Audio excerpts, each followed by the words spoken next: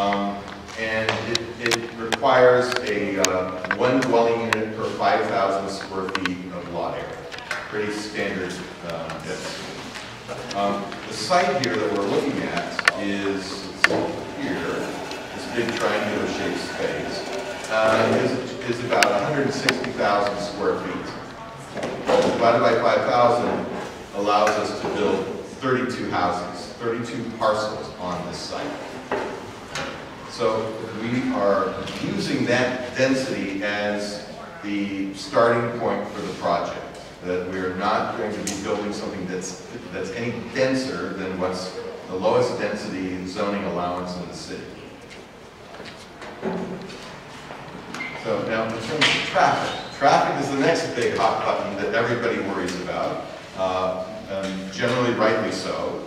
Um, and the question is, what is the impact that 32 new houses might have on our neighborhood? So we want to sort of talk about how that works right off the bat as well. Uh, here, the site is in yellow. In the middle of the site, you can see the red arrows are the existing streets. Um, one of the big issues uh, with this uh, neighborhood and this site uh, that I'm sure concerns everybody has to do with vehicular access and how uh, emergency vehicles uh, can access the hillside and everybody's homes, um, how do fire trucks get up here, how do ambulances get up to this into this neighborhood, um, and also how will how do cars move in a reasonably. So um, one of the big issues here, though, is that uh, these streets tend to only have one way up and one way down. Um, as you can see from here, on this side of the site, it's pretty much uh, coming up Commodore up and down for, for the most part. And on the north side of the site, uh, it's, uh, it's uh, I think it's Moonstone is one way up, and I think it's, the other one? Really, those are the only ways up and down. So they're kind of one-way uh, uh, streets. So this is a, this is a community problem, and it's something that we are looking to um, find uh, to, to improve the situation. So one of the things that, uh, as we have been engaging with the City of Los Angeles and Bureau of Engineering, and looking at how uh, roadway alignments need to work, uh, we've worked out this scheme, which essentially connects uh, Forest Park's Forest Park Drive across our site and creates a, a uh, creates a, a linkage between the two sides up above, and then um, continues Beryl Street to the south and connecting it up with the southern end of Onyx Drive, right? And what that does, it creates another major uh, uh, pathway across the site of the lower, lower down the hill. And what this now does is it allows every house and every parcel on the site to have two ways up, and two ways out or down the hill. It also gives emergency vehicles, fire trucks, ambulances, etc., two ways to get around. If there's a one, if one part of the street is blocked for whatever reason, there's always another location where those vehicles can access almost every house. So this is something I think that's a, really a major, a major uh, issue and a major advantage for all the neighbors. Um, And it also, by the way, will come with considerable expense to the owner here. Um, Building these streets on this hillside is not, uh, is not a, uh, an inexpensive uh, proposal. After we've developed the vehicular street pattern and made these connections, uh, we also started looking at how people take walks. And as, as we know, um, hill, sometimes hillsides can be very treacherous places to walk. The, the, the uh, walkway, uh, the sidewalks often are non-existent, or they're fragmented, or they're in poor repair. Uh, the streets themselves sometimes are that way. Sometimes, very often, the streets are just dirt paths or gravel paths. Um, and we think that it's really important for the neighborhood uh, to have a, a safe and beautiful network of pedestrian pathways. And it's a bit more challenging on a hillside. Uh, it's great anywhere else on a walking street in the flat, but on a hillside it's all the. So what we're doing is, uh, once the, the new streets are, are built and connected, we're also creating, uh, in these, these red arrows, you'll see uh, pathways, pedestrian pathways up and down the hill that will connect uh, the new expanded community that we're proposing all the way down through uh, to the two cul-de-sacs, Supreme Court and Superior Court, and will give everybody a, uh, a clean, uh, safe pedestrian pathway down to the, uh, down to the, the bus station on, uh, Road. So the important thing when we think about the big picture of transportation in the city, how do we get around, well, how do we help, how do we make it more convenient for people not to use their automobile and to give people viable options? Um, even though we might have a, a great bus that can take you into Pasadena or into downtown LA, if it's not easy to walk there or find another way to get to that transit stop, if the system doesn't work. Um, So one of the, one of the big ideas here in terms of, uh, in transportation circles, we call that uh, first mile, last mile issues. How if you're planning a bus or a transit system, um, no matter where you go on that bus or that train, um, getting to your home or getting to your workplace or the shopping area, how do you get from that stop to that destination is in LA, in Los Angeles, a particularly difficult situation. So in our case, we're trying to address that first mile, last mile issue by creating a pedestrian pathway, pedestrian stairways up the hill. Okay. So we'll talk about, we- we'll get the two, uh, uh, uh, the the hard, wor- the hard words to deal with density and traffic, and we can talk about inspiration, things that are, uh, that um, inspire us to do great things, hopefully everybody.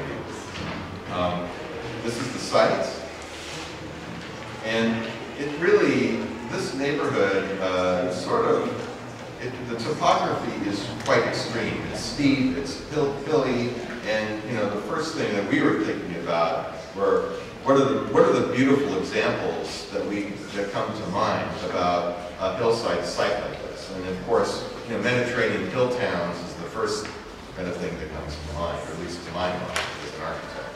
Um, so we started looking at the way um, uh, hill towns in Italy and southern France and Greece uh, sit themselves in kind of elegant and uh, functional ways on such steep hillsides. And there tends to be a relationship between both the topography and the vegetation, as well as the module of house or building, to create a real village. And I'm just going to run through a few images of how that kind of relationship between steep topography, sometimes forbidding uh, topography, and landscape works in a very, in developing very humane and livable environments. So we can see sort of often these kind of agricultural settings as well.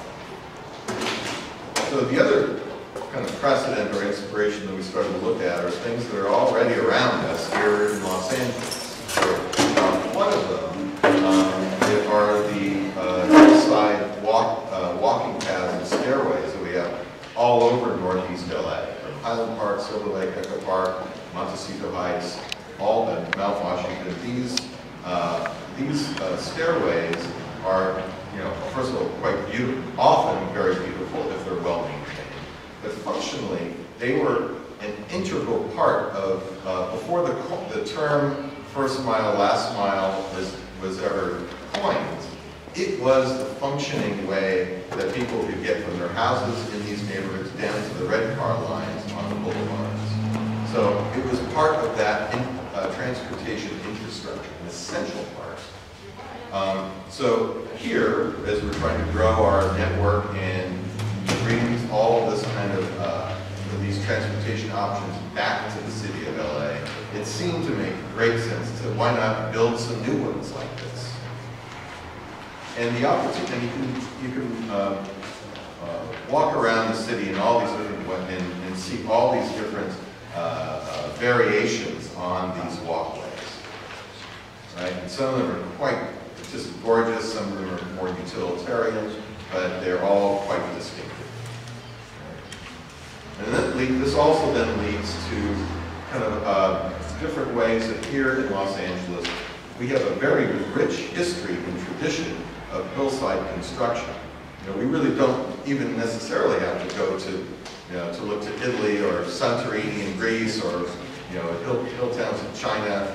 We, we have a, a lot of precedents right here in our midst that can give us clues to how we can build in a beautiful and uh, productive way right here in our own communities. So this is a project in my neighborhood in uh, uh, Silver Lake, which I've always admired. It's like a, two duplexes facing one another and a, a private landscape uh, walkways that take you up this, you know, up to the front entries, which are on the walkway itself, not on the street. And in a very different way, this is a, a, a, project by Rudolf Schindler, a famous modernist architect, also in Silver Lake, that does some very different things. Similar, has some very similar uh, uh, characteristics built into an upslope hillside.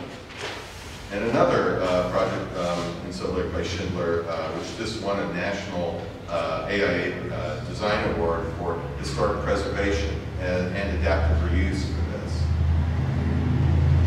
And then the prototypes of hillside housing really range in style. It could be a very uh, simple, stripped down 40s style building on the left, it could be Spanish style, there are kind of somewhat uh, uh, rustic uh, uh, uh, hunting lodge style. Um, there's a, a, big range here in LA, and it's a very rich tradition.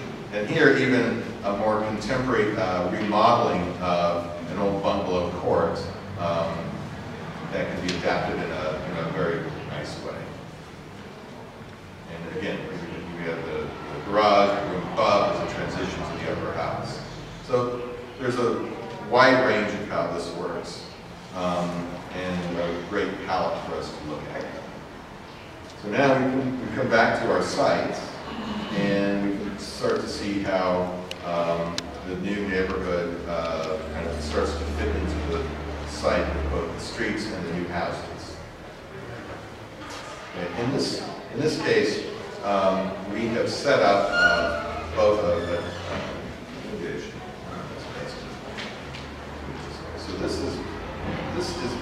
Street that we're connecting with Onyx. Hopefully you can read that. And then Forest Park that essentially closes the loop, kind of the missing tooth of that part of the street. Um, and what we, what we have now on the downslope of Farrell, but, but let me back up. Um, pretty much all the houses that we're building here are, are approximately between 1,800 and 2,000 square feet. They're all three-bedroom houses. There's a small variation in terms of the size, but they're essentially this, the same general um, scope for each of them. Um, with the exception of the three houses at the top of the hill, which, which are about uh, 22 to 2,300 square feet. Slightly larger, four-bedroom houses, all the rest of them are pretty much three-bedroom houses. Uh, they all have a little different configuration depending on how they have the stack on the hillside. Um, Now, another important thing that we have to grapple with um, when we're building in a hillside area is that we have height limits. Um, the hillside ordinance in the city of LA has very kind of uh, has very strict criteria for roof pitches and maximum heights and street frontage profiles, all to keep the profile of the houses down to a more humane pedestrian-oriented scale.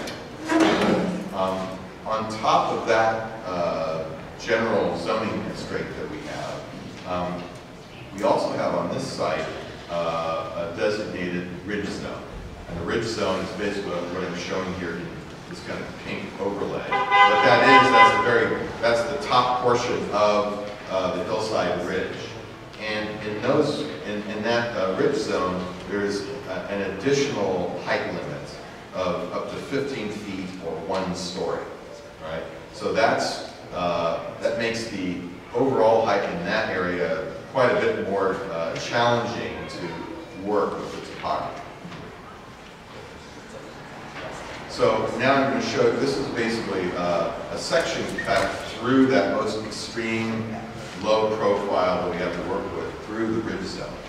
So from the top of the hill, you can see that we're, uh, we have what's essentially one-story houses, although they're, they're functionally two-story houses, if you can see how this section works. There's a living area up above, and in the lower, the lower level is cut into the hill, and that would be where the bedrooms would be. Um, there's still enough slope where we can have windows and, you know, for all the lower level um, functions. But there, but it, it, it essentially is uh, right at the 15 foot maximum height from the original topography. And that continues all the way down, all the way down the hill. So, you know, cutting through Forest Park, you'll see a, a short retaining wall right at the street, and the natural slope continues, and all the buildings going to follow that very restrictive uh, profile. Um, one of the important things that we're introducing into our plan, along with the, uh, the uh, uh, hillside stairways and pedestrian connections, is we're also along those pathways, uh, many of those walkways will have community gardens alongside of them. Um, yeah, part of it, some of them will be strictly landscape, some of them will be uh, shared by people in the community. They may be designated as part of uh, the, the, association, the maintenance association for this, for this project. Um, so they could be divvied up for anybody who wants to have a vegetable plot along, along these hillsides. But in the center of this site, we're planning a pocket park, which will be a flat, a relatively flat area that will be able to be used for uh, passive recreation, place for kids to play, that, uh, and that sort of thing. And then as we move down uh, the steepest part of the slope, we start to get into uh, uh two, uh, two to three story step housing. And then we get down to Beryl Street, and then we have, again, step housing all the way down the hill. So you'll see here, uh, this is basically our, our 25-foot uh, height limit, which basically throughout the site, we have a, by the hillside ordinance, we have a 25-foot maximum height. Uh, in the uh, ridge zone, we have a 15-foot maximum height. And you can see here how uh, this line at the top is showing what our maximum height limit is, and we are working with the topography to, to bring the houses in, uh, uh, to, uh, follow that original topography. Uh, here at Beryl Street, which is the main street through this, you can also see there's a fair amount of cut that's going to have to be removed in order to build the streets first, and then to build these houses. And that will be the biggest community impact, I would say, during the construction process. It's really cutting the street in, that is really the community benefit, but we'll have to deal with sort of the, uh, the the disruption involved with that, uh, that, the construction of that street. And uh, this lower drawing here shows a section cut laterally uh, or lengthwise through Beryl Street so that you can actually see the elevation of the house, the downslope houses, right? And so you can see that they're uh, really a garage, and from that garage and an entry courtyard that takes you down to the house. So the profile on the downslope side is a very low profile. Okay, and this is the existing, uh, existing conditions. We have the, uh, the bus stop over here on the right. This is uh, Superior Court, I believe.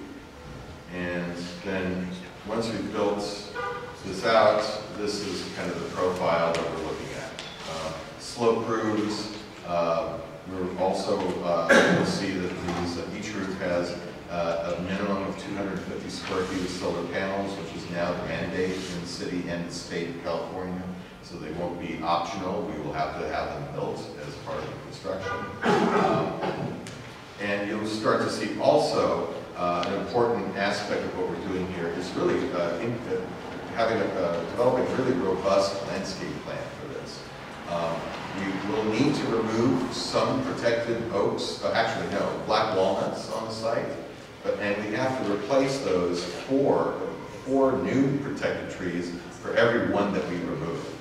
So what it requires us to do is to essentially build a native grove of, of oaks, sycamores, not so much black walnuts because they're not readily available, um, and to really bring back this kind of uh, native, native uh, uh, uh, flora. And so I'm going to show you a couple of views from Beryl Street uh, with an emphasis on certain, on the two general housing types.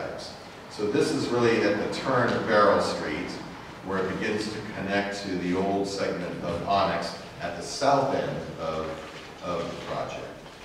On the right-hand side, you'll see the houses uh, that essentially you're going to, you'll have um, uh, the uh, garage, and you will step down um, to the front, to the front entrance, which will be on the lower level. You can also see what this does is it will help preserve the views from the street of the surroundings. So very, it's very important that uh, the views of the site are quite, quite beautiful, and we don't want all those views to be strictly private views. It's something that should be shared as part of public space and the public realm. So um, it will be hopefully a very pleasant walk to walk through this, through this project. Um, the other really important idea, and I'll show it to you in a, in a, uh, when I go back to the floor plan, is you've probably seen many uh, hillside developments where there are virtually no street trees. Um, actually, hillside or otherwise, street trees are some, often one of the uh, uh, first things that get cut out of any project for a number of reasons. Um, many times, it's not just the private, it's not the private developer who's deciding not to have trees on their site. It's very often, um, kind of, once a project runs its way through all the various city bureaucracies, um, you start to find that, and this, this has happened to us in our office many, many times.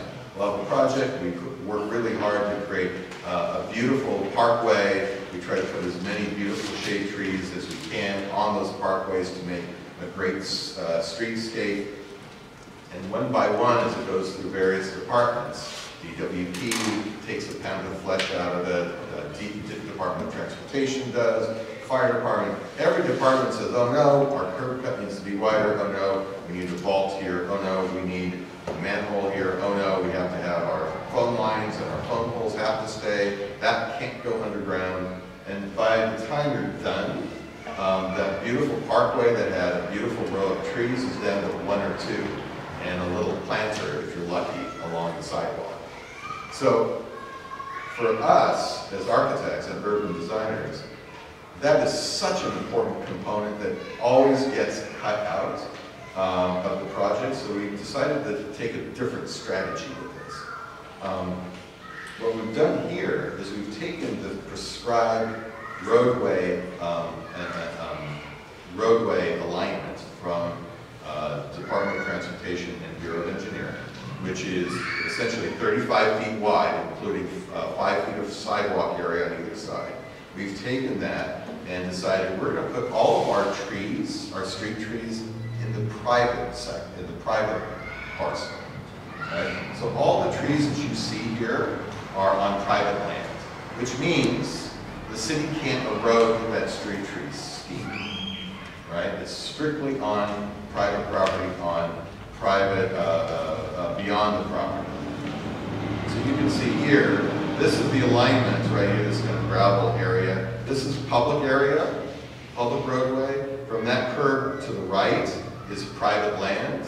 And what we're creating here is essentially a shared private planter courtyard. And it creates a shared, uh, a shared entry court for pairs of houses. So even though this is a single family house, uh, and this is the next one over, they both have entries down below. You move down the stairs to this entry level, and there'll be two front doors with a front porch down, down below. So this allows us to have this great kind of shared public-private amenity. On the other side of the street, on the, on the upslope, upslope side, where we're showing uh, these Italian cypress uh, trees, these also were pushed back from the sidewalk area, and, and those are uh, uh right-of-way requirements. So it's on private property, and they're fitting in between um, the entry points and the entry stairs of each of the upslope houses. Okay. Now this view is further down Beryl and with a view so we can see a couple of different things. On the right hand side you can see the, the downslope houses that I described to you before. But here on the left you can see a public walkway. This is uh, one segment that, that runs from Beryl Street up to our pocket park and then on beyond that all the way up to Forest Park Drive. So this is a segment. So this is open to the public. It's also, it will also be the entry point for this house, actually up at this point. Right? So it'll be real, a true public access walkway.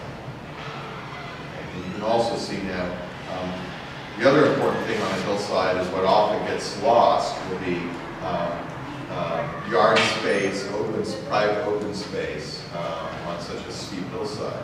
It was extremely important for us that every house has a large terrace, not just a little balcony, but in most cases, it's about, it's at least three to 400 square feet. So it can effectively be used as, as a living, a real living space adjacent to all the living rooms and kitchens. So that's a consistent pattern throughout. And the other important thing on a hillside site like this is for all the houses to really take full advantage of the beautiful views that are out here. So uh, we've made. Can I ask a question, please? Yes. Okay, you mentioned that pathway going to the entrance to the house is public. Yes. It'll be open. It'll be open to the Oh, public. open. It's private. It's uh, clarify. It is private land, but it will be open. It'll be maintained privately, but it will be open. There will be no gates on it or barriers that would prevent anybody walking through through this as a neighborhood.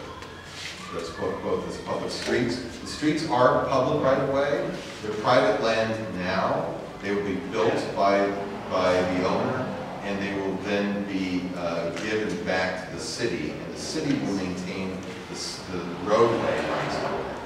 But the park areas, these landscape areas, and these stairways will be private land, and they'll be maintained and left open by deed restrictions within within the, the, the projects. Does that mean they would be closed at certain times?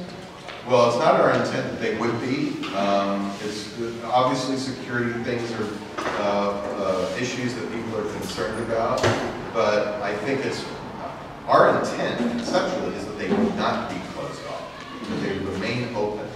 And so that it is, uh, it'll be a question of, uh, it'll be clear that the public can walk on these public walkways.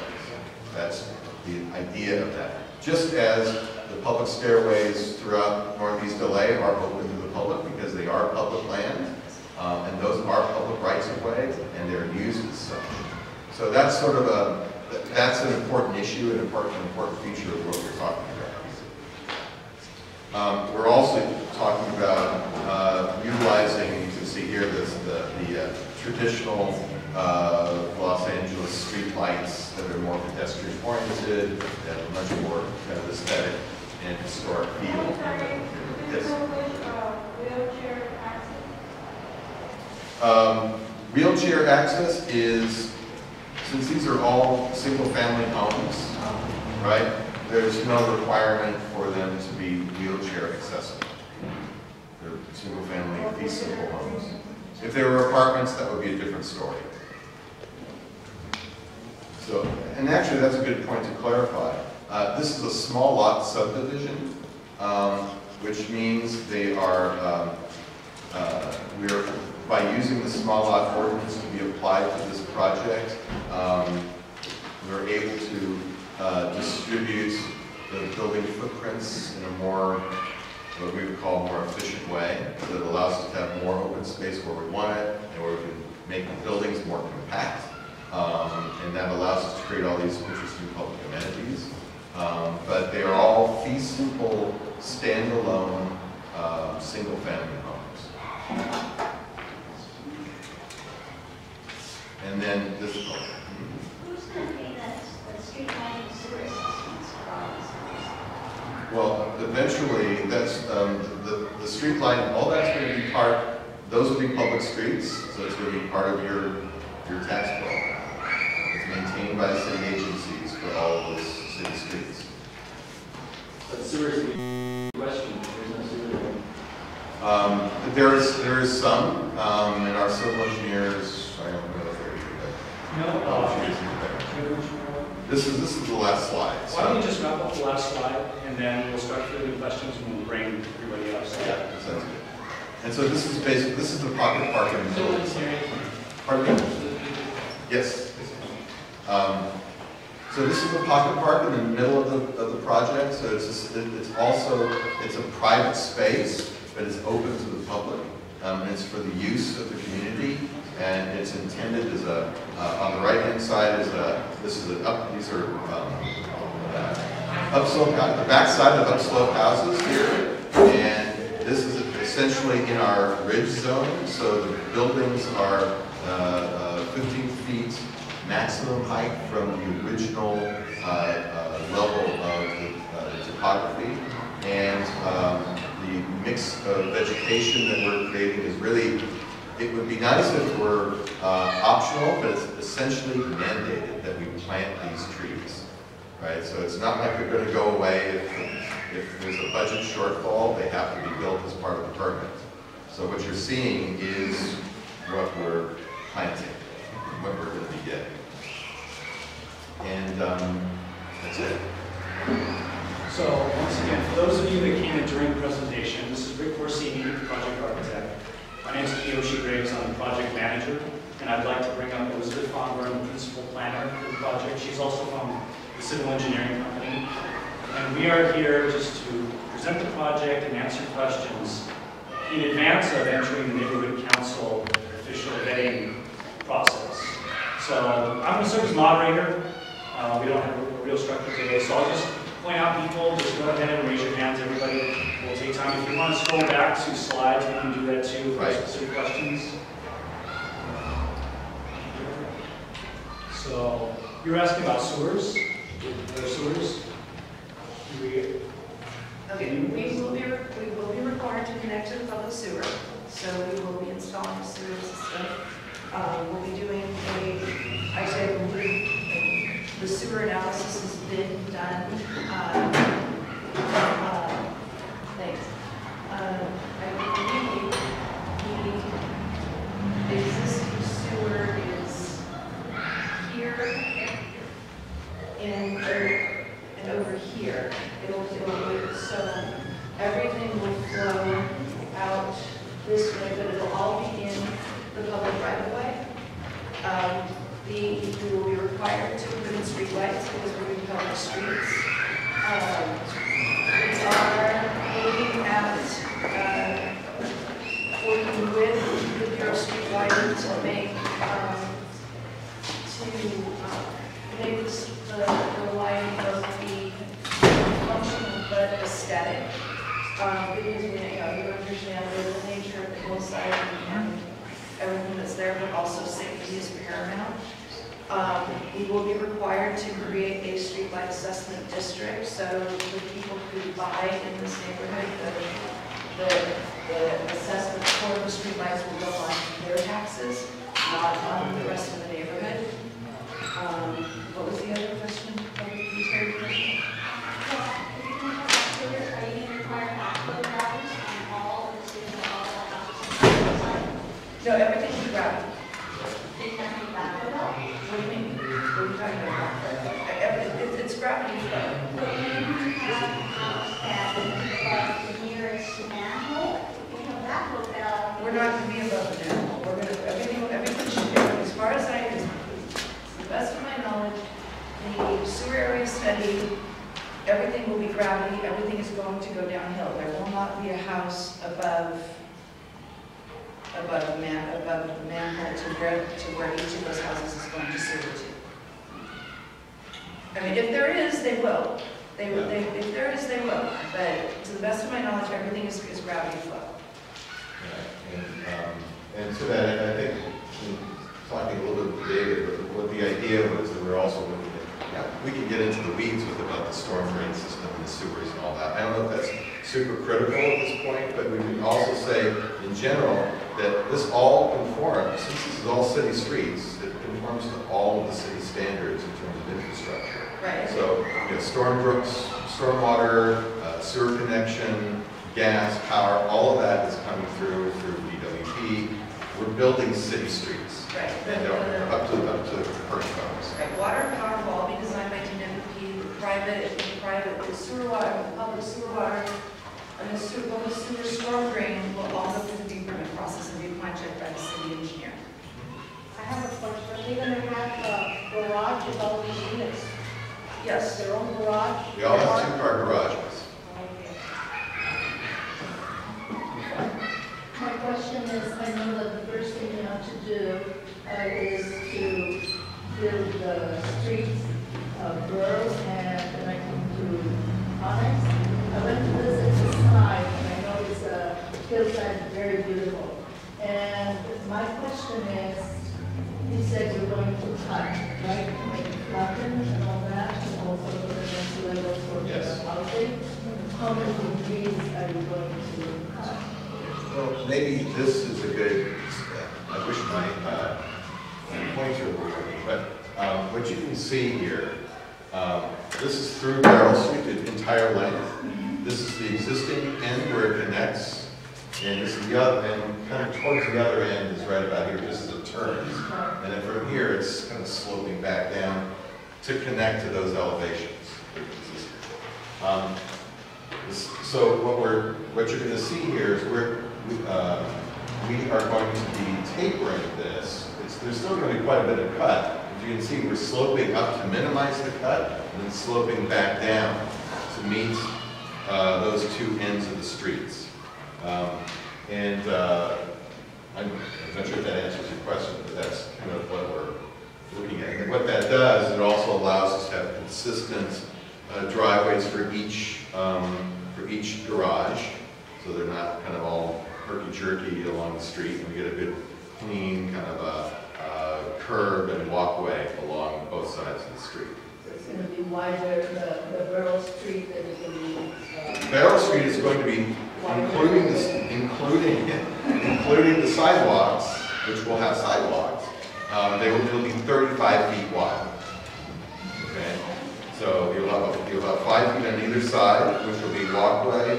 Um, Interestingly, um, uh, we won't be able to have concrete on the sidewalks. This is another Bureau of Engineering thing, but it will be a walkable surface. It'll be granite or gravel or something.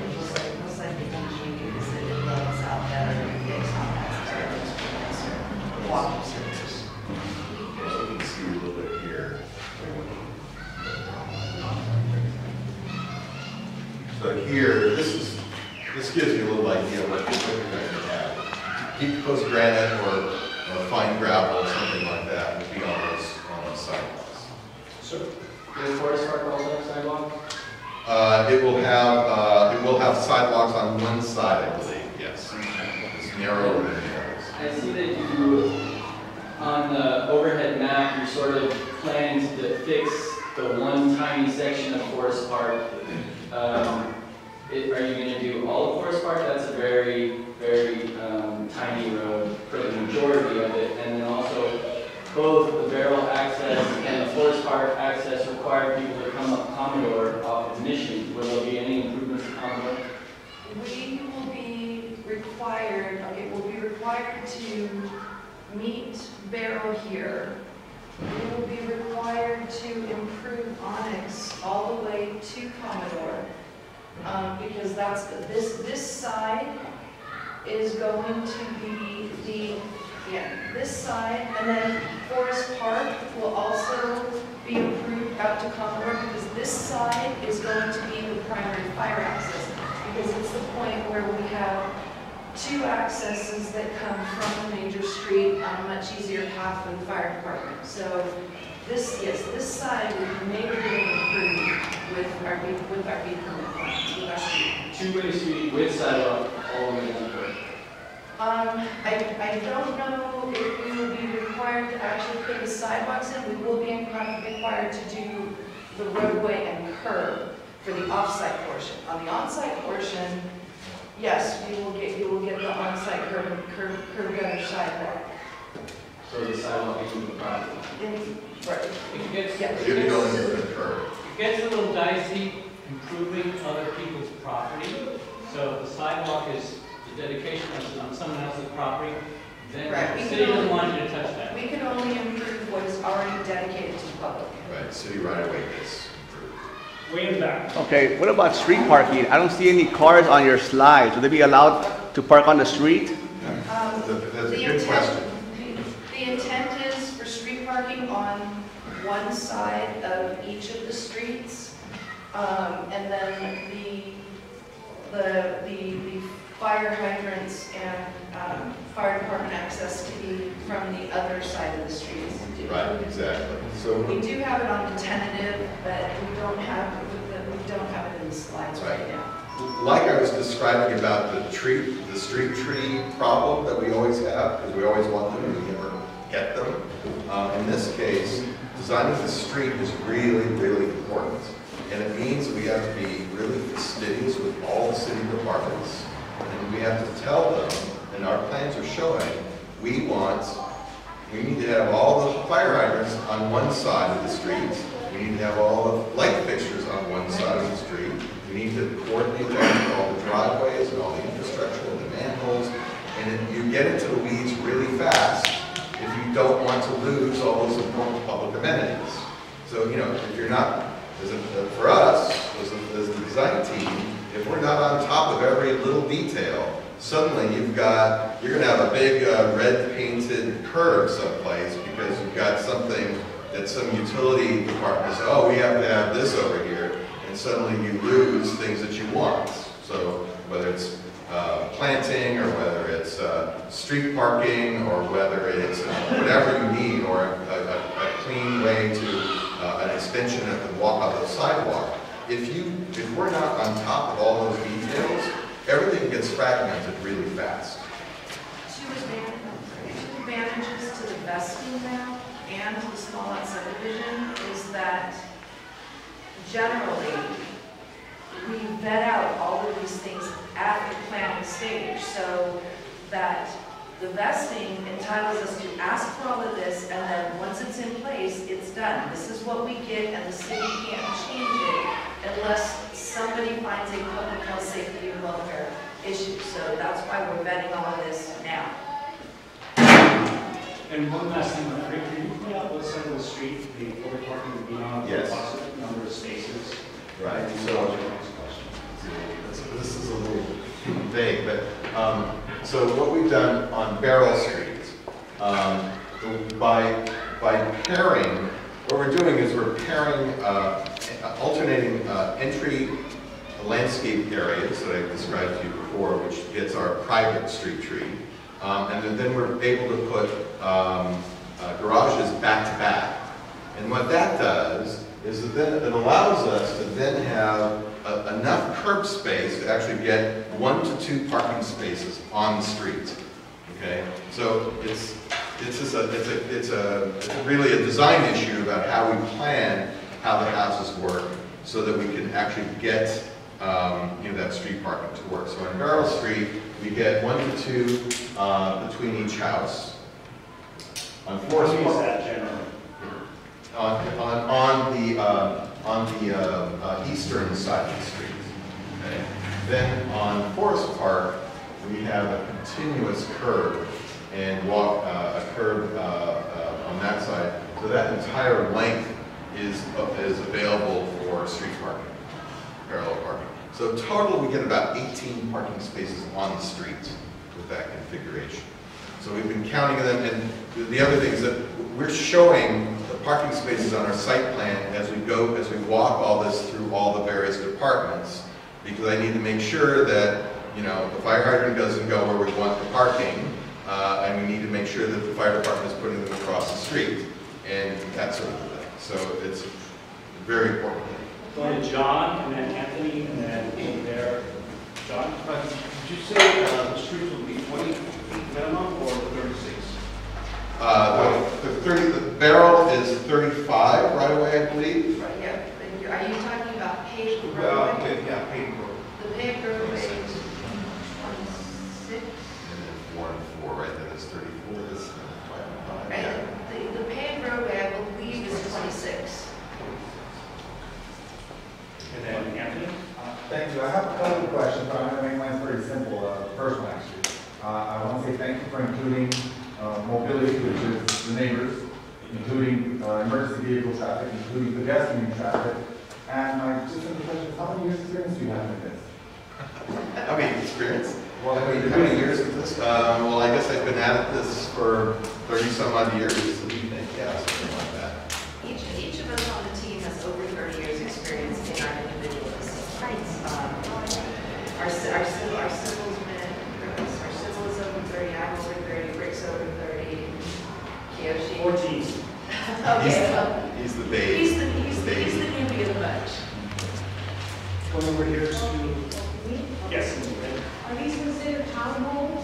No, And uh, the common wall is. uh, There is no common wall. Common wall. there is no common wall. There You is- said they're gonna up in a fucking meter behind you, They're- there's a garage. They will, they, they will, they will be side by side, there will be, there will be a separation. These These are are, not sim- considered a common wall. no, there are, right, there are, they are, I mean, it may, we've done small lot subdivisions where the gap has been as small as three quarters of an inch, but as long as there's separation, that keeps these single family homes. And, So they're and not there's, considered townhomes. No, they're, sing- these are single How would family homes. association, is there an association fee with this group homes?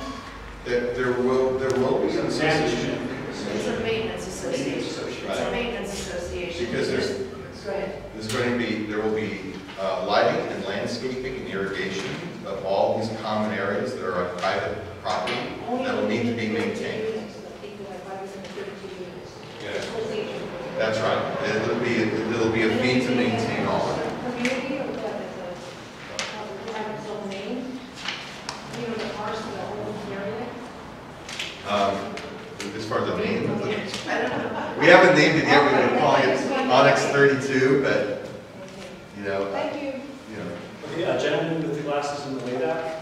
Um, actually, Johnny, can you ask that question because I'm trying to ask Johnny about the question about the road. Oh, uh, the, uh, the improvements to, to the road down to the boundary of the hillside. yes. They're gonna be to twenty feet minimum? Uh, were, were we talking? Common audits On this, and, uh, uh, Forest Drive. Not to the Forest. bound- Not to the boundary of the hillside, we, we, we Right down to here. discussed with engineering that they, that they believe Commodore itself is improved enough, so we will be, we will only be improving to Commodore. they'll they'll all be at least a minimum of twenty feet. Twenty feet will be what, to the best of my knowledge right now, is what's Right. required. And then, like I said, they're requiring us to, beyond our property, from here to here, we'll be improving that roadway, that road bed. Uh, coming up here to the front,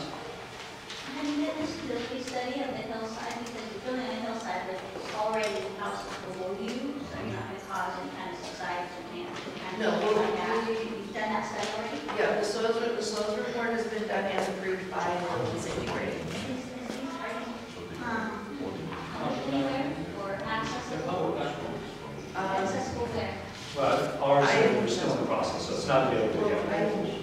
Are we, are we, re- are we- are we redoing the rating? Yes. Okay, we're re, okay, so we're redoing the soil It's in process, today. will be complete. But just to give you an idea, I mean, it's a very, it's, it's, uh, it's a very stable site.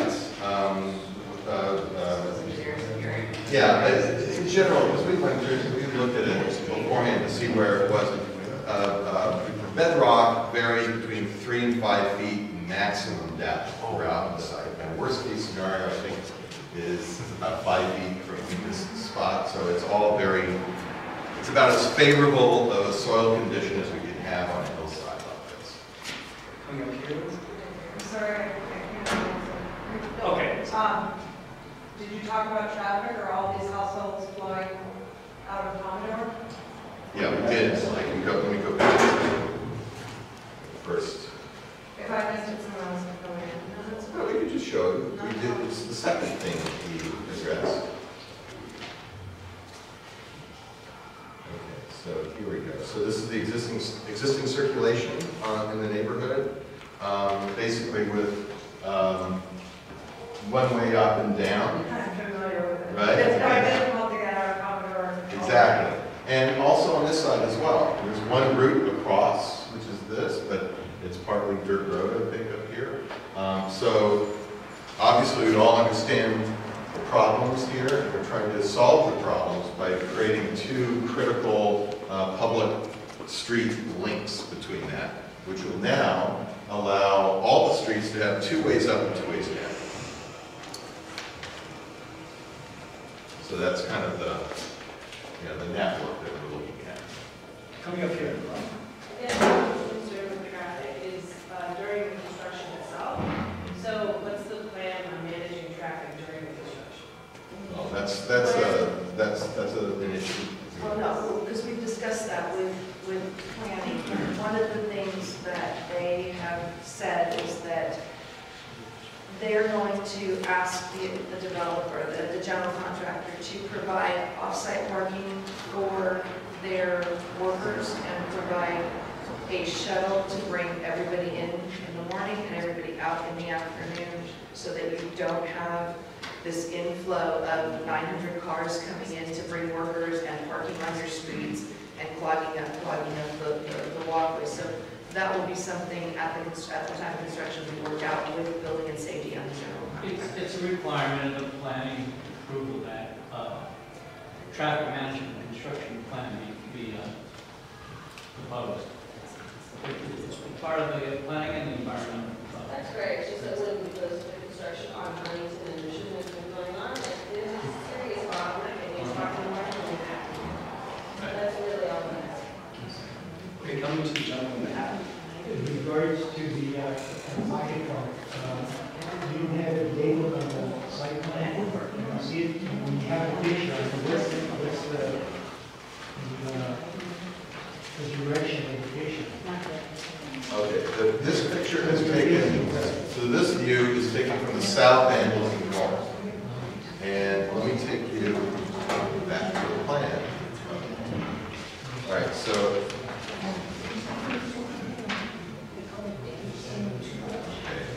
Actually, the pocket park is actually right here. This has got a big triangular space. And that, the the view that you see at the end is taken right in front of this tree. So that this tree is at the back of the viewer in that perspective, looking in this direction.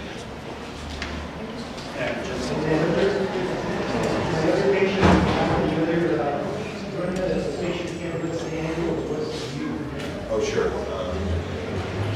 Okay, so this one, uh, this one is taken from the, the, the bend in the road, and, uh, and then I'll point them out. So this is at, this is this- at the, uh, the southern end of Beryl as it makes a transition, it makes an L to an onyx. And then this one is at the apex, at the top of, of Beryl, at the high point, looking north, down. And I'll show you here.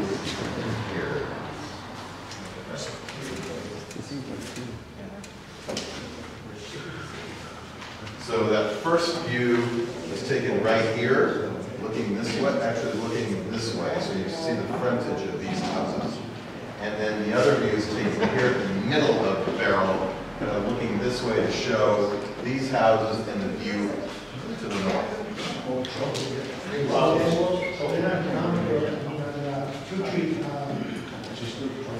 Park. Forest Park, if you come up, that's obviously quite narrow now, so you said it would be wide, empty all the way around it? Uh, it'll be, well, see, it'll be widened between here, probably we're gonna do this too, I would think, right? We're gonna have to, we're, we will have to just the alignment for Forest Park to Rising also. Right. But the major, the major offsite will be to make, make, make sure that there's fire access. All the way to How wide is it? Uh, twenty feet. And please, if you can, sign up on our contact list there. I will, for everybody that signs up there, I will notify you of every future meeting that we have. So if you wish to be updated, please do sign up. I have a time sheet here, and it's one of the gentlemen. Yes.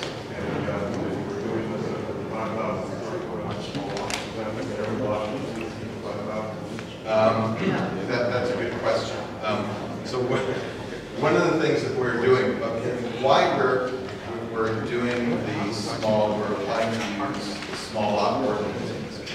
It's a little complicated from a zoning perspective, but, uh, apply- being able to apply the, zo- the small lot ordinance in this situation allows us to move uh, move the open space and the building footprints around in much more efficient and productive ways. So we have some lots that are 7,500 square feet. Some of them are as small as 2,200 square feet. Okay, so on average, the whole lot is five, you know, we're 5,000 square feet average. So the small lot ordinance allows us the design and planning flexibility to average them out so we can say, oh, wouldn't it be a lot better to concentrate, you know, the toe of the slope to make uh, a native sycamore road down there, and then I can move these other houses around, and I can create, you know, a widened landscape stairway, and I can create this uh, uh, community garden between the houses uh, that I would not be able to do if I was uh, just uh, having to apply standard R1 zoning requirements. So it gives us designers and urban architects much more design flexibility to create better public spaces. It also allows us, from a sustainability standpoint, to create much more compact building footprints, which are much more um, uh, energy efficient, reduces the overall carbon footprint of the project by creating those tighter, more compact configurations. Can I just point out, this project needs a a subdivision because the lots are individually owned, and it will need a zone change in order to enable these uh, bene- benefits to happen. So ha- there are two entitlements, two main entitlements that, that we're, that will be up for planning department um, approval. So at some point, we will be get receiving public hearing notices about them, official public hearing notices. And that's, that would be the issue involved, is the zone change to allow a small lot subdivision, so you can congregate and create these open spaces, and then the subdivision itself. So that will be on the radar uh. Sorry. Yeah. I, I wanted to touch on the gentleman's question about the lot sizes. Uh, my understanding is it's one large parcel, but you're dividing it so that you get thirty-two homes. Right. Is it considered high density? No, it, well, it is R1 density. It's one, one dwelling, one, one parcel, one dwelling unit for 5,000 square feet average. So, Let me, you me address, let me address it from planning point of view. The reason we did it this way, okay. The R1 density, the the R1 zoning requires 5,000 square feet per lot. So if we were to subdivide it, each house would have to have 5,000 square feet. The reason we chose the RD5 is because the RD5 still requires that we design the density based on one unit for every 5,000 square feet in the parcel. But we don't necessarily, with a small lot subdivision, have to have 5,000 square feet per lot. So this way, again, to be sensitive to everything in the neighborhood and try and keep things um, copacetic with the intent of the original zone, we chose, a- we chose a corresponding zone that would maintain that, but also allow us to develop in a manner that is much more sensitive to the hillside. Is that Yeah, I, I clarify? definitely understand. I just wanted to touch on it. In the image right here, I guess in the front of everybody's, uh, portfolio there's this one large house on the top left, which is the white one up there, and it's on Paradise. It's not even part of your building. right, that's right. But, so are there, are you actually bringing variances, which I'm understanding with the presentation, for height? We, we will have to request some variant, a, a height variance, and I'll, I can get into that. No, uh, it's the too. same. So, so, one of the issues, and I guess it is, um, because of the, uh, the, the the first big issue that we have to deal with um, is the construction of Beryl Street, uh, which is something that is, um, it's, it has become required by the Bureau of Engineering for us to build this. Um, That, just the construction of that roadway requires a height variance. Because, if I have a section for this, I can show you why that works. Okay. This is a cut through the center line of Beryl Street, all the way out. You can see how it drops off here in this gray area. When we build, this, this, this means there's a retaining wall in this location that's about 19 to 20 feet tall, okay? That is a requirement in order to build this roadway to Bureau of Engineering standards of slope and width and drainage and all that. Um, that's what it, that's what it looks like. So, for example, if the city had decided to build this road, they would have to do the same thing, because the zoning happens to be in this spot, we're actually in that ridge zone, which is only 15 feet high. So, you know, they would need a variance to build that, okay? Now, the, uh, so what we're really looking at from an experiential standpoint, what we all see and look at and appreciate, it won't, nothing is going to look like we needed a big variance, uh, height variance anywhere, anyway. Everything is basically one story high on the downslope, and it's, and all the multi, the multi-level houses on the upslope are stepping back, and they're following and conforming to all the requirements of the hillside ordinance, which are very, very strict, right? So we're, we're conforming to the aesthetic, massing spirit of those ordinances. But because of the extenuating circumstances of both existing topography, number one, which is quite varied, and number two, because we have to build this roadway that starts us off literally in a hole um, from, you know, building into the side of the hill, we need to get, we need a whole, a range of these variances. So right now, we're trying to figure out, do we do it, do we write it so it's parcel by parcel? Some sites don't need a variance at all. Some sites are made, the only way to get one story above the roadway, and uh, we might, we might need a foot or two above the maximum height. In other places, we might need 10 feet. It doesn't look like it's 10 feet higher than it is allowed, but because of the roadway alignment, it needs to be that way. So you can see here, this is a good example. In this corner, right? You can see all the houses are just one story high, right, with a pitched roof, right? And that's the alignment of the road that's required by the city. But by zoning code, I've got to start measuring the heights at the bottom of where the roadway has to be. So if I've got to be 10, 15 feet high, you know, I don't want to be below the roadway, right? And, and there's condition, that's the most extreme. In some places, it's only a couple of feet. In some places, it's almost 20 feet. So for us to be able to have a clean, consistent, you know, street profile, of 10, you know, uh, 10 to 15 foot high uh, houses, we need to get this, this variance. So that's going to be also part of the request. So a big part of it is that, you know, if you were to kind of read through what our request is going to be on paper, it's going to say, my God, what's going on here? You know, there's so much stuff, and it's complicated. You know, we've got, uh, in order to do the, uh, to build compactly like this, we need to have the zone change that allows us to use this, the hillside ordinance. Um, to do that, we, we need the hillside ordinance to do, to deal with all the green space and to create the public, uh, the public realm that we're talking about. We need height variances. These are mostly things that people kind of uh, uh, raise everybody's sh- uh, hackles, right, when they see it in a community meeting.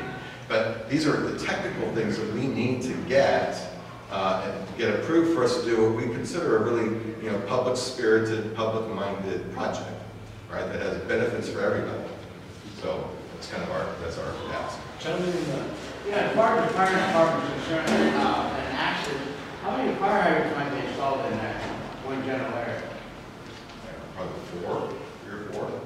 Um, You know, we haven't met with the fire department yet. Um, We will, what, what happens is that once the tentative map design is complete and we're ready to submit it to planning, we will submit a copy to the fire department and they will do a fire hydrant plan and they will tell us. But we anticipate that there's going to be probably a minimum of three on site. There's probably gonna be one down here, one over here, maybe one in the middle on Beryl, and then maybe at least one here on For- Forest Park, so it's, you know, three to four. Yes, so, since I- we're not engineers, how many lots would you be able, or how many houses would you be able to put in if you did all one? The five thousand dollars? I did a study, I think it was like twenty-six or twenty-seven lots you could fit at five thousand square feet average. So, just as a, with this roadway configuration, but without all the other benefits, we would. With or without uh, relief? That's without relief, that would be by right. We could get more with the R1 if we didn't do the public street connections also. So with the public street connections, we could do it if we had private cul-de-sacs, but then we don't make those connections for Beryl and Forest Park. Right. I think the, I think the, the maximum with, if we maximize the lot, I think we could get thirty-five. But, but, you know, to provide, like you said, to provide public access and, and for traffic, it's like 28, 26 or twenty-eight. Um, and we're kind of splitting the difference at thirty-two, but we're also able with this kind of configuration to, to give you the through streets and also um, reduce the amount of grading that would have to be done. I just want to touch on that. There was a previous proposal from a different developer, and I guess obviously not you guys, and they didn't take into consideration. They were proposing thirty-nine units, and this is seven less, so it's about a twenty percent, what I see, reduction from what was being suggested about a year or two ago. Yeah, the, I, I can, I can speak to that because uh, of the team, we as the engineer are the only one that was retained from that, pre- from that previous team. So I can speak to that thought process so that you can see how this team has, has has addressed this much much differently. For those of you who were here before, you understand. Um, And by the they're- way, I was just also the other, more hands off, and because of almost occurred, I had to regroup and bring on a new team to, uh, talk more about it.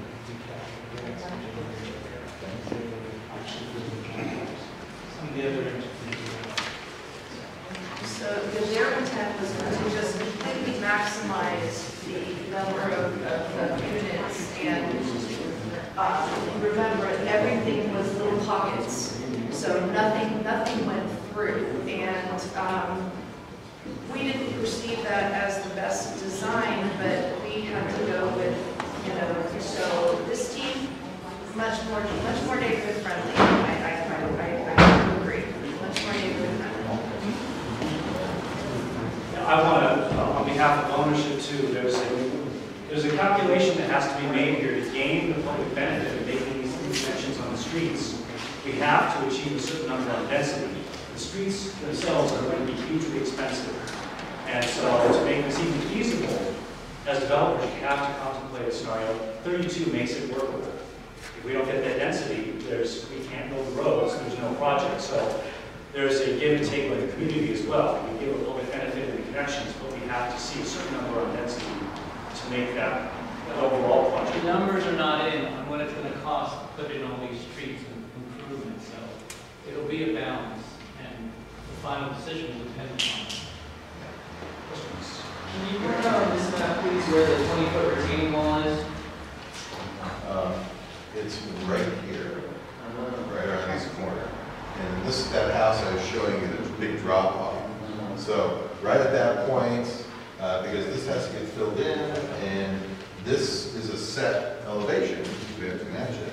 We're maintaining a very gradual sixteen percent slope up, sixteen percent slope down to the other side, and that's basically what it, what, what it has to be from a engineering standpoint.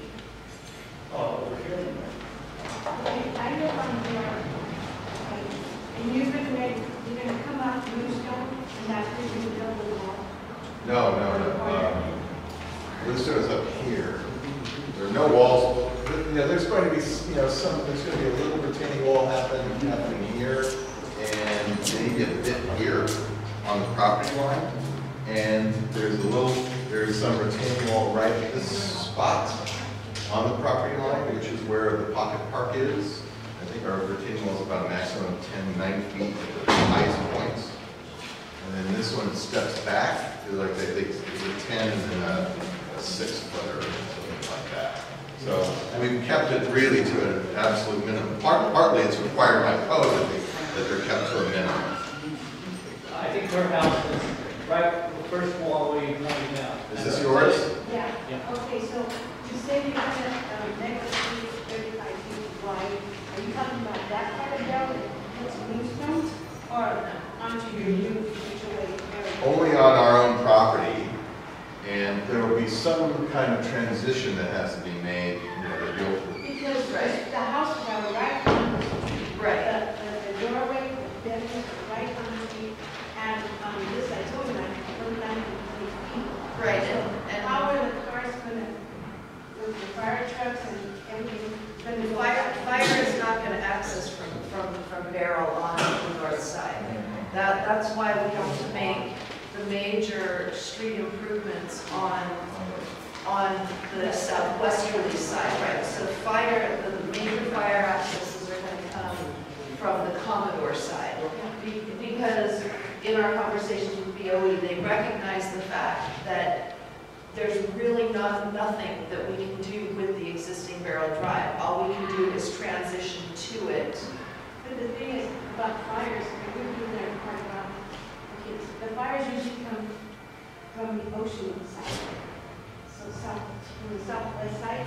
So when there's a fire, it comes this way, and here's, here's your area, it's new housing. Okay, you have to have fire trucks being able to go up around, and if you're gonna only have access on one side, that's gonna be a problem. I don't know if you're following me. The, we have That's dictated by the fire department. Well, the fire men can't come up as far as park, because they refuse to far as park on radio. right, And, you know, you have to figure that out too. right. So So just, just, they can't make that turn, Yeah. Forest Park, Town. yeah, I mean, that's, Both sides, first. There's going to be, like I said, there's going to be improvement from this side for sure, so accessibility is going to happen. On the other side, it's it's a little bit beyond our scope. On the other hand, uh, the, the net improvement in terms of fire safety is you know, uh, considerable, because number one, we're gonna have new fire hydrants up here. Uh, number two, all the new houses will be fire sprinkler. So that's, you know, that's all current code, and, you know, everything's gonna be, of course, up to, up to current standards. So it, it will, it may not be an ideal situation right now, uh, but we're definitely improving the situation as a result of the project. Yes, uh, on that wall that you're gonna be building, You uh, thought about the landscape or creepy line, a beautiful line. And we'll give it a nice beauty so that we don't have graffiti on the wall. We have a team of community uh, volunteers to go around the rows of the community and clean up the graffiti and bring some beautiful around there. Some people don't see all that, but that's what occurs, so. Uh, I'm sure you have that plan, and then fire trucks that are able to come up this wide road that you can be bringing into the new area to be built, uh, doesn't have that option at this moment. So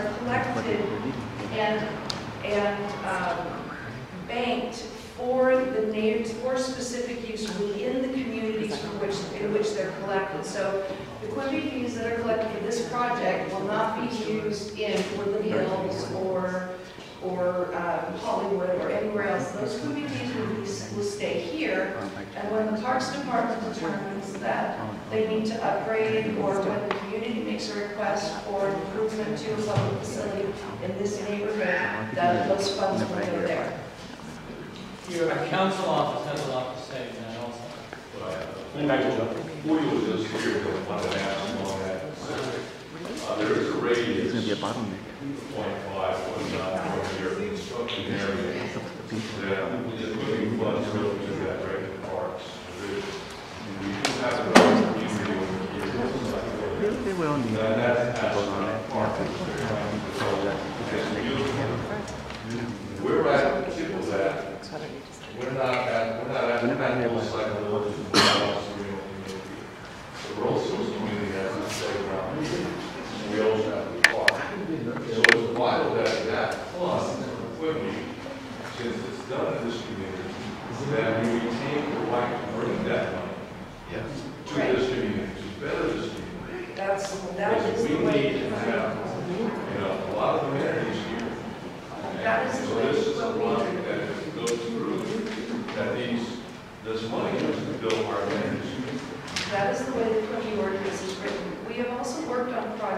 and it might be something we take up with the developer, and the developer may take up with Rec and Parks, that in certain instances, they do allow the developer to make directed improvements to specific parks in the area. We just had one in the West Hills area where they built 178 houses and they made a direct $105,000 improvement to the park that's a quarter of a mile down the road. So that needs to be written in there. Work with the council to ensure that this one does state. What I would suggest is, is that um, you, we- you you directly discuss that with the owner, because We we, have talked about it. Yeah. We, we, we are, uh, we talked about it, and that would be definitely something. Yeah, I don't see why not. Thank you, sir. Going to the back. Uh, yes. Yeah, um, what's, what's the best estimation of your timeline going forward? Like from now until the zone, what, it's not zone, yeah, zone change and, uh, plan approved and, you know, all the improvement done and the building finished, what's the, are you talking about like two years, one year, or what's the best estimation you can come up with? um, it's hard, based upon what we're seeing in planning right now, we would anticipate that approval of the subdivision and approval of the zone change probably will take at least nine months. And then, once you get past that, it's really, um, it's really hard to say, um, because it will depend on building and safety, it will depend on, on city survey, city engineering, how quickly they, because it is a complex project, how quickly they navigate the approvals for all of That's this. getting to the tentative map. That's beyond the tentative map. The tentative map, I would anticipate that once we resolve everything and submit to planning, and um, I would say we're just about there, and, um, but, uh, you know, it would be nine months from the time we submit to planning. You as a community will know when we submit to planning, because planning will mail a copy of our application and uh, a portion of our packet of documents, the architecture, the tentative map, the subdivider statement to the neighboring council directly. So my understanding is that once they deem the package complete, they will mail that package to the neighborhood council. So even before they start reviewing it, even before they distribute it, the neighborhood council will be notified that that package has been submitted. So you will probably know before we do. And I'll also be a part of that. I will return to the neighborhood council to give updates periodically as we pass milestones on the project. So that's part of what my function will be moving forward. Um, I'd like to comment, because this has been previously submitted, and as a former planner in the planning department, files will be going back and forth, so it will be easy for the planning department to miss it updated. So we still need to watch that. There's already a digital file, there's already a paper file, but everything's everything's gonna be switched out and changed. So it's up to the uh, astuteness of the individual planner to actually resend out those neighborhood council packets, uh, because it's, there's already an existing file, so uh, we will be as diligent as we can, but also watch out for it, that's why we want to, you to be on contact list also. Gentlemen, So, uh, actually, that pocket park is going to be a part with the rec, with the department, uh, parks, is this going to be a designated uh, open area? Correct, it'll, it'll be, it's private, it's private property that'll be used for, for common, for common use. Joe. Elizabeth, um, you said you're going to the LA thirty-two neighbors council to serve so many communities. That's great. Once that's established, if it's going to, would you still consider to come back to our community here, or give us an update of what's happening here? absolutely, this, I'm blown away by this turnout, so this seemed to work very well. Yeah, absolutely. LA, LA, the, the, the once they establish those neighborhood councils within, within, you know, the city, they kind of made it a, a requirement for projects to present within the certified neighborhood council. And there are several areas in the city where you have a neighborhood council that encompasses multiple, um, uh, communities, right. Um, So they don't always look out for one individual community. They, you know, they, they tend to, they're, they're supposed to try and see the big picture, so, um, but it will, you know, we're just, we are required to try and obtain the support of the certified neighborhood council, but, you know, we, we worked with you before, and it's more what this community, the weight of this community, if you, if everybody were to go to that DAA hearing, the weight of this community would carry much more, much more voice than the weight of somebody who's three miles away on the other, on the other side, so. Who's not? Right. And this is where we start, so there's a bit of loyalty there. We're trying to do something for the community, and you guys are helping achieve that, so. um, I see that there's sort of a, uh, a buffer zone of trees here underneath the houses. How do you, am- yeah. So what's that band, sort of area there? It kind of seems like a no man's land a little bit. Well, actually, um, the, uh, what we're showing you here is the, uh, the landscape plan. But, uh, what you can't see in this plan is that, uh, this is all privately owned.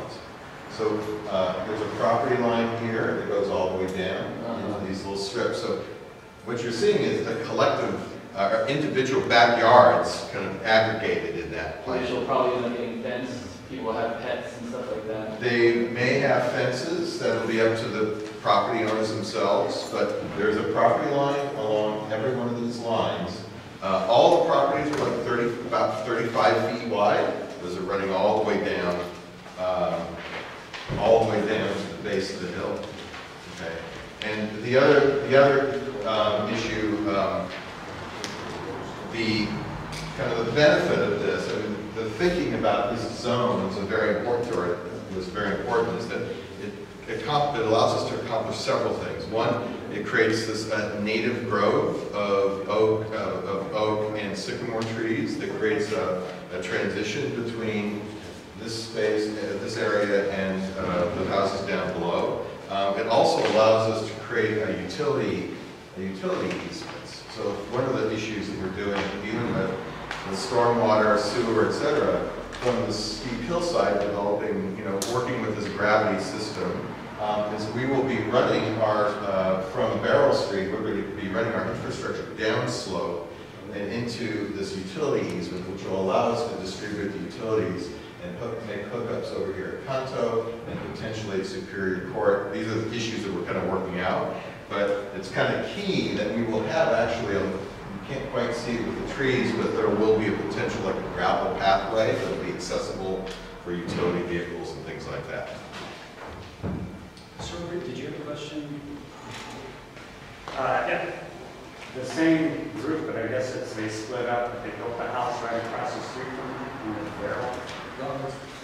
Yeah, and, and they were very unprofessional during the process. They're gone. They asked the neighbors for electricity, they asked the neighbors to use. They're gone. They, they wanted to borrow water from us. They had to rent generators. Yeah, I'd rather- I I was at that Why I meeting. had to But get away from that. they were really annoying builders, And it took one year for them to work there. so. Right. I, I hope, I know, I hope you guys aren't like, We're not affiliated with them whatsoever. Yeah. I mean, The thing is, you getting were too in much charge, is you terrible. owned the property. I did. You should have been I on did. top of it. I should, You correct. should have been on top of it. But, um, what I was being told and what I found out later were two totally different things. So I wasn't aware. building up here right The only- The only person that I do water know is Jose that's still there, and he now works with That- me. And, uh, he left that other gentleman here. Because of all the lies. I have nothing to say. Any other questions? So again, please, if you haven't signed up and you'd like updates, please do so. And I will inform everybody that signs up of when we're having our next community meetings. Thank you very much for coming.